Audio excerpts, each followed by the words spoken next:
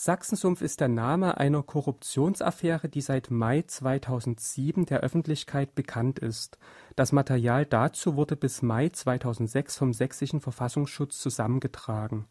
Nach dem Bekanntwerden des Sachsensumpfes sollten die Staatsanwaltschaften ermitteln und Verfahren einleiten. Bald wurde die Korruptionsaffäre als bloß heiße Luft abgetan. Dennoch gibt es seit Juli 2007 einen Landtagsuntersuchungsausschuss zum Sachsensumpf.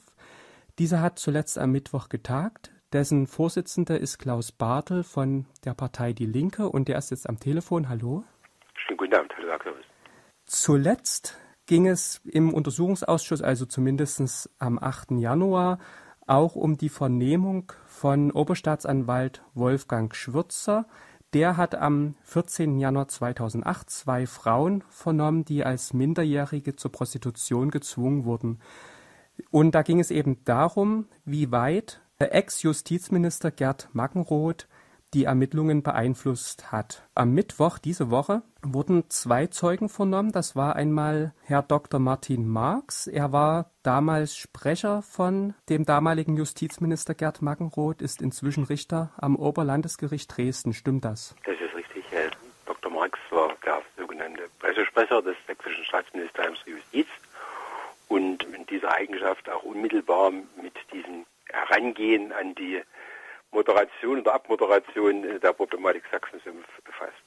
Der wurde vernommen und dann wurde noch ein zweiter Zeuge vernommen. Da können wir dann vielleicht noch drauf eingehen. Wurde denn der Verdacht erhärtet jetzt am Mittwoch, dass es Einfluss gegeben haben könnte vom Ex-Justizminister? Ja, der Anlass, unmittelbar Herrn Dr. Marx als Zeugen zu laden, war ja äh, tatsächlich eine Aussage, die äh, Herr Schwürzer, vorher Ober leitender Oberstaatsanwalt, jetzt äh, im Sächsischen Staatsministerium vor dem Ausschuss getroffen hat. Er hat nämlich uns gegenüber bekundet, dass er im Januar 2008, war also bereits vier, fünf Monate nachdem die offizielle Lesart, die nach außen verkündet war, betreffs Sachsensumpf hier lautete, alles heiße Luft, äh, alles nichts dran, alles äh, aufgebauscht, hatte er im Januar diese beiden äh, Frauen, die von der Zwangsprostitution im äh, damaligen sogenannten Kinderporträt Jasmin in Leipzig betroffen waren, zeugenschaftlich vernommen.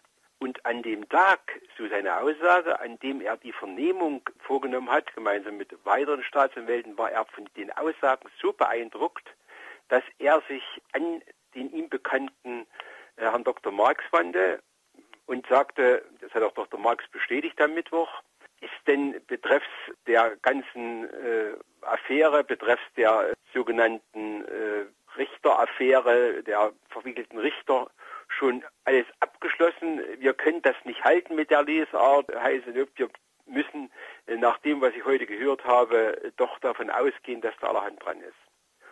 Und dieses Telefonat, das also der Staatsanwalt selbst im Januar 2008 auf das Ministerium zugeht, darum bittet auch den Minister zu informieren, darum bittet die entsprechende Werthaltigkeit der Aussagen der Zeuginnen äh, prüfen zu können und jetzt nicht weiter diesen Weg des Abmoderierens zu gehen, war für uns sehr bemerkenswert und äh, es ist im Grundsätzlichen durch Dr. Marx eigentlich äh, eine Botschaft in die in zweierlei Richtungen uns vermittelt worden. Erstens, jawohl, äh, dieses Telefonat in den Abendstunden eines Januartages gab es mit der offensichtlichen deutlichen Situation, dass sich Herr äh, Oberstaatsanwalt äh, Schwürzer von den Aussagen der beiden Frauen inhaltlich eben veranlasst sah, zu sagen, hier müssen wir ganz anders ran, hier müssen wir nachsetzen.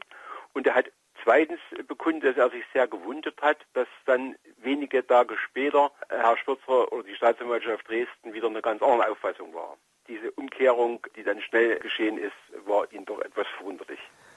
Aber konnte das jetzt schon genauer beleuchtet werden, wie die Umkehrung dann passiert ist? Das ist genau das Problem, was in der Ausschuss, der ja zwei Komplexe hat, er untersucht. Zum einen gab es kriminelle und korruptive Netzwerke unter Beteiligung von herausgehobenen Persönlichkeiten aus Politik, aus Justiz, aus Wirtschaft, aus Polizei, aus Kommunalbehörden.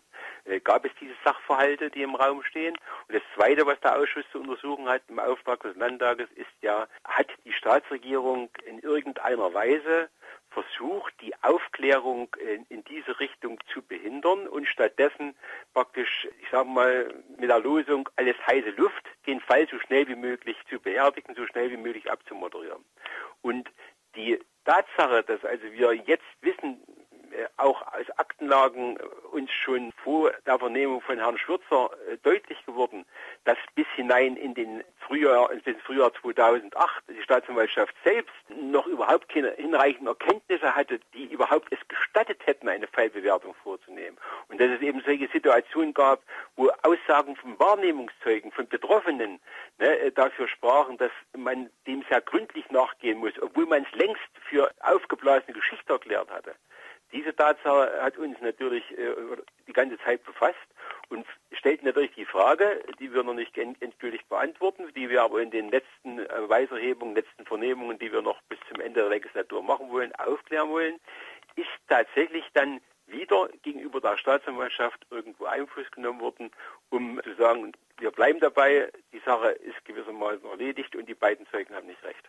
Sie wissen sicherlich, dass diese beiden Zeuginnen, die damals Herr Schwürzer vernommen hat, sich dann selbst im Straf eines Strafverfahrens ausgesetzt sahen. Ein äh, sehr intensiver Strafprozess, der ja letzten Endes dann auch eingestellt worden ist, weil beide dann nicht verhandlungsfähig mehr gewesen sind, durch äh, das Amtsgericht in Dresden geführt.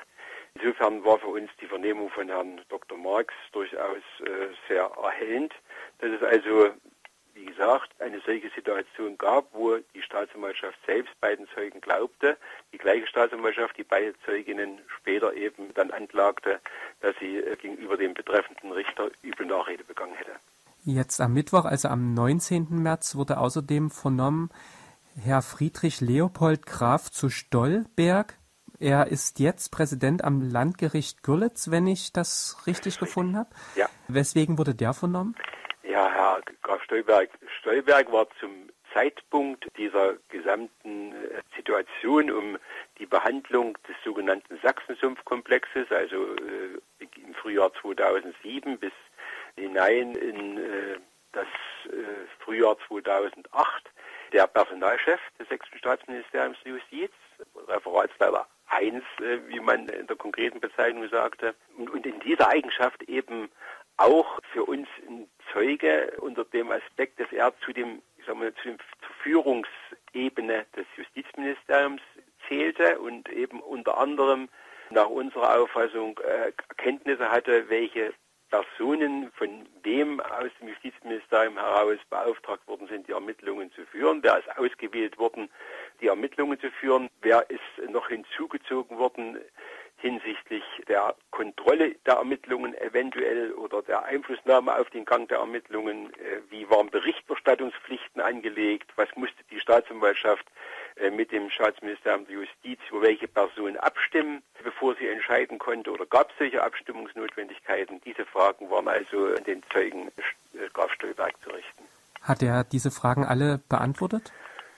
Er hat an einige Sachverhalte keine Erinnerung mehr gehabt, beziehungsweise konnte sich dann nur noch äh, peripher an manches erinnern. Es hat sich dann auch tatsächlich herausgestellt, dass bereits im Laufe dieser Zeit, äh, als er äh, dieser Personalchef war im Kontext Herbst 2007, es noch einen weiteren Referats die Stelle wurde halbiert. Es gab dann noch einen weiteren hinzukommenden Teilreferatsleiter, den der Ausschuss unter Umständen noch als Zeugen vernimmt, als Beweisantrag noch am vergangenen Mittwoch eingebracht worden von den Oppositionsfraktionen, auch ihn zu vernehmen, wo es also sein kann, dass der weitere hinzukommende Mitpersonalchef, der dann das Amt auch übernommen hat, ab früher von ihm, weil dann Herr Graf Stolberg zu Stolberg eben Präsident des Landgerichtes von Görlitz geworden ist, dass also durchaus sein kann, dass eine, ne, aber also weiß, wenn ich das, wenn ich das nochmal sagen darf, die, der Staatsminister der Justiz hat seinerzeit, äh, was wir schon 2007 die Oppositionsfraktion, die demokratische Oppositionsfraktion